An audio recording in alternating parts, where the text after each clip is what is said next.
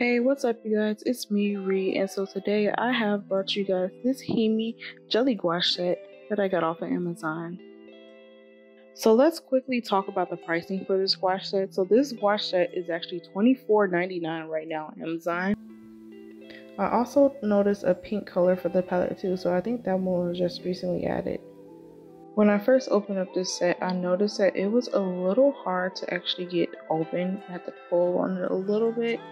Um, and I noticed how hard the packaging was. But I did notice that the mixing tray that the palette came with was also a little bent. As I opened up the containers, I noticed that they're shaped like um like an IHOP jelly packet, 30 milliliter cups. And yeah, they were pretty hard to open. Um, I had to put a lot of force into getting them off. Um, I don't know if that also had to do with my nails, but they were pretty tough to pull off. Um, and it was quite messy, so I highly recommend you guys having some baby wipes on hand because this needed some cleanup work.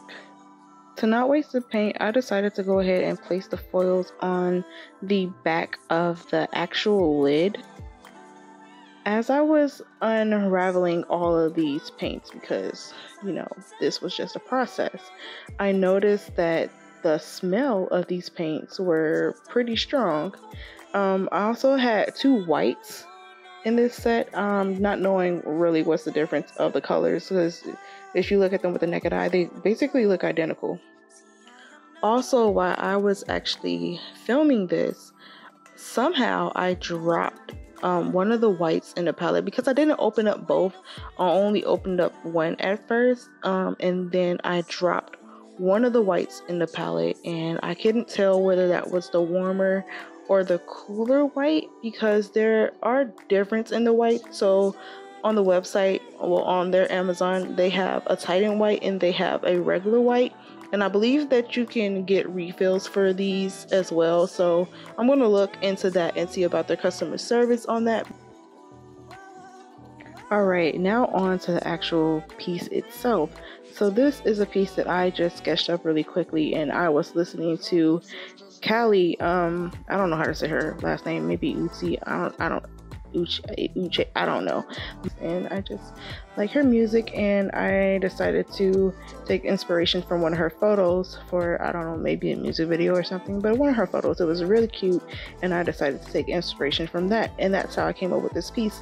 You can also see the original sketch on my Instagram, so I highly recommend that you guys go ahead and follow me over there. The process for this piece was to just do thin layers at first. Um, and also, if you guys was wondering what that red spray was, that was just a bit of the paint and um, some water that I put in the spray bottle so I can get the blown out effect in the background. But yeah, I did very thin washes of the gouache. I just try using them more like watercolor at first um, because I know I wanted this piece to have a lot of life in it but I also wanted to keep certain tones um, like more of a warm tone to this piece of art. I didn't want to have um, a lot of cool tones. I did use some cooler tones like for her eyes so I made her eyes like a blue gray just so we can have a little bit of contrast um, it was very difficult to keep using this paint because if you leave it out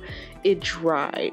So it started creating these holes um, from like where the paint wasn't I don't know from where it started to dry and it became difficult to to keep using. I wanted to use it fresh but over the days that it took me to actually paint this because I had to keep stopping it was just a mess like so yeah, just a fair warning that these are not going to stay in that jelly consistency, of course, because you know the water is going to evaporate from out of there and it's going to get dry. But um, all you have to do is just reactivate it with some water. Um, you have to find the right ratio with these paints because of how um, these gouache cups are set up. They're not like a tube paint where you can really pull out how much you want. Um, you kind of have to be careful with how much you put on the brush or I use um, a plastic knife to pull out the paint instead of using my brushes. I use a plastic knife and I just put a chunk of whatever I want. I also used some sparkly paint that I had got from Walmart to go ahead and finish off her necklace. So, as for the giveaway, the rules are going to be as follows. I need you guys to follow me on my Instagram. I need you guys to leave your Instagram down in the comment. So that means, of course, you have to comment the video, like it, and subscribe to the channel.